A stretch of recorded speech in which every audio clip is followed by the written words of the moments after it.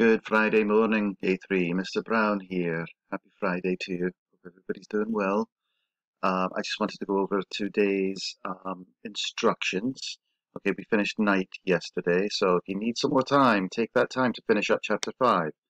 Uh, in the meantime, uh, we are going to be starting something different. We're going to move away from night for a few days um, to do a project that's going to be based on graduation. So we hope it's fun for you. Okay, so you can see in remote learning here that we I have the instructions for uh, May 22nd. It says Good Friday morning. We're going to take a little break from our novel March. Today we are going to start a little project that has everything to do with your graduation. Uh, you will be working in the folder called May 22 to May 27 graduation project. In this folder, you will find two assignments.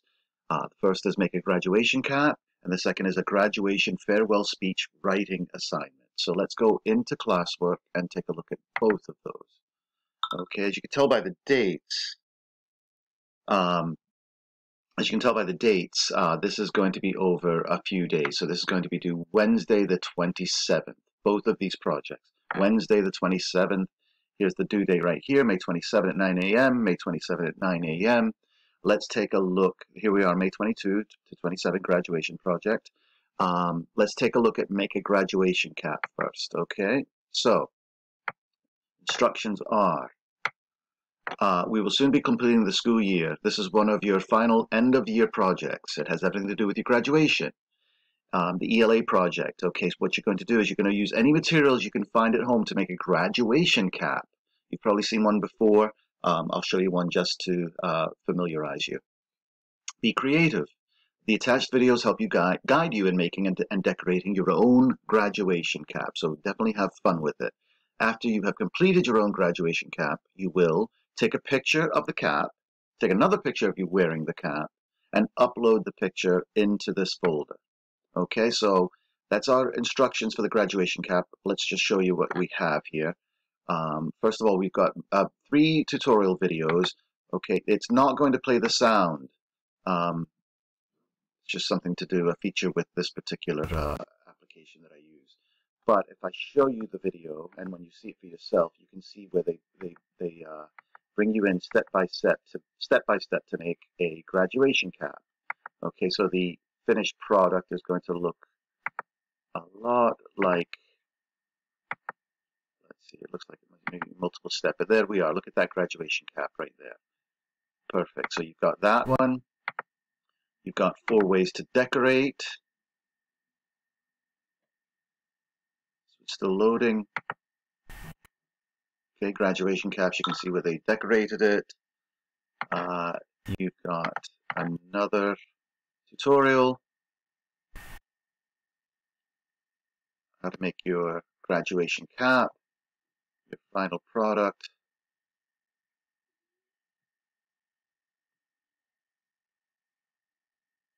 will look a lot like that.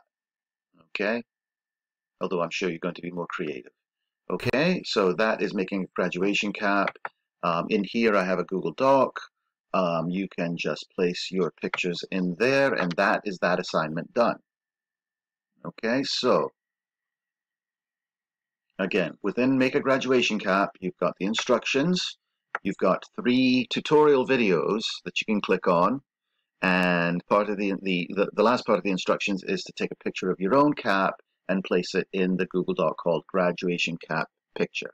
Everybody has their own Google Doc, so you'll have your own picture uh, by itself as a grade. Okay, so that is make a graduation cap. I'm going to move on to the graduation farewell speech. Okay, this is actually a writing assignment. Okay, I'm going to read this. Okay, so one component of this project will be a speech you will give as a memorable, a memorable farewell to Maria L. Varisco Rogers.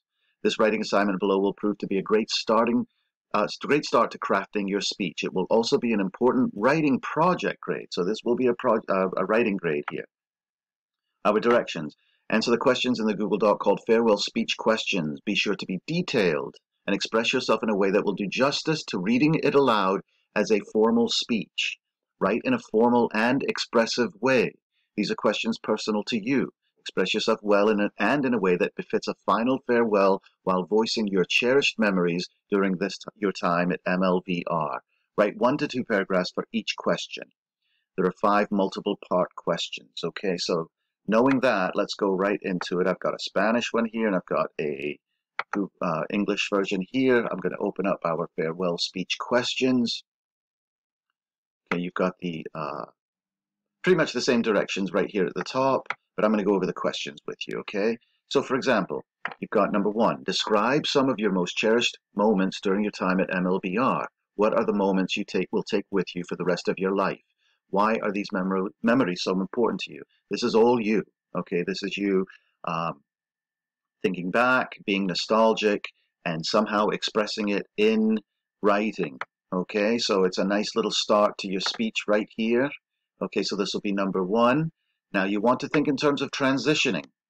Okay, so then you're going to transition into number two, because eventually this will be a whole speech. Number two is describe your favorite teacher or teachers. Why were these teachers so important to your education and overall time at MLVR? How did they provide inspiration to you, and how did you apply this inspiration in your own life? Okay, so that's question number two that you can transition to favorite teachers. I do have multiple part questions, but just remember that is just to sort of prompt you so that you could write at least a paragraph or two per uh, per uh, question. Okay, so plenty of prompts just to give you some thoughts, and you'll have plenty to write about. Okay, you can expound on your answers, meaning that you can expand them and be a little more detailed. Okay. Uh, number three, what words of wisdom did you receive while at MLVR? Okay, you can have more than one example, of course. Word of wisdom, words of wisdom. How did these words of wisdom, wisdom inspire you? Would you pass on these words, words of wisdom to others? Explain why or why not. Again, multi-part questions, but just so that you've got a, a nice, strong, expressive paragraph per question, okay, with multiple parts. Number four, imagine you were to give advice to an upcoming third grader or an upcoming seventh grader. What words of wisdom would you give to these students as they continue to grow at MLVR? Give a detailed example of your words of wisdom, meaning how would they work? What do you hope they will achieve upon hearing your words of wisdom and explain? Okay, yet again, multiple parts, but just so you can write a very strong paragraph. Remember, you're going to be transitioning from uh, question to question, uh, just so it sounds like a, a, a complete and formal speech. And lastly, number five, how do you believe your time at MLVR will help you go on to be a good citizen, a change maker, and a model high school student? How do you plan to succeed as you move on to bigger and better things? What do you hope to achieve? Explain in detail. Again, multiple parts, all about, um, we, you're concluding with um, what you plan to do as you move on. Okay, what do you what, expectations do you have for yourselves? What goals? What dreams? Okay, this is all you. I can't wait to hear it. Um, be expressive. Be do be formal. Um, don't be afraid to express your opinion. Um, as long as you're expressing it well in a writing format. And I think that's about it. If you have any questions, let me know. Um, but I am looking forward to these. I always love to read your writing, especially especially your your personal writing with your own personal opinions and and, and beliefs and, and and desires in it. All right, all right. Do your best, A3. All right, I believe in you. Take care. Bye bye.